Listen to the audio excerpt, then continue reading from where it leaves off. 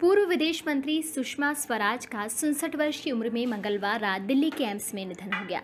रात में उन्हें दिल का दौरा पड़ने पर अस्पताल में भर्ती कराया गया था, जहाँ डॉक्टरों ने उन्हें मृत घोषित कर दिया था। 12 बजे उनके पार्थिव शरीर को भाजपा कार्यालय लाया गया, जिसके बाद करीब चार बजे उनका अंतिम संस्कार किया गया।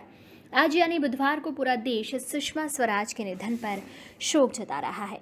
सिर्फ़ बीजेपी ही नहीं, सभी पार्टियों ने उनके निधन पर शोक जताया है। आज हम आपको सुषमा स्वराज के बारे में कुछ खास बात बताने जा रहे हैं, जो आपको शायद ही पता होगी। दरअसल सुषमा स्वराज को विदिशा और रायसेन की कचौरी बहुत पसंद थी। वे जब भी यहाँ जाती, कार्यकर्ता उन्हें बड़े प्यार से गर्मा गर्म कचौरी खिलाते और फिर वो मुस्कुराकर बड़ी खुशी से उसे खाती थी। आपकी जानकारी के लिए बता दें कि शिवराज सिंह चौहान के मुख्यमंत्री बनने के बाद विदिशा से सुषमा स्वराज ने चुनाव लड़ा। इससे पहले मध्य प्रदेश से उनका सीधा नाता कभी नहीं रहा।